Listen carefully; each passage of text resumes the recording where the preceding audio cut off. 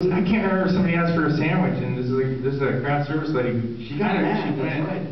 she did, she definitely snapped. Yeah. And next thing you know, Rachel and I are ducking like lettuce and tomato. Oh, damn sandwich! It was. Oh, big meal. Oh, you had a question?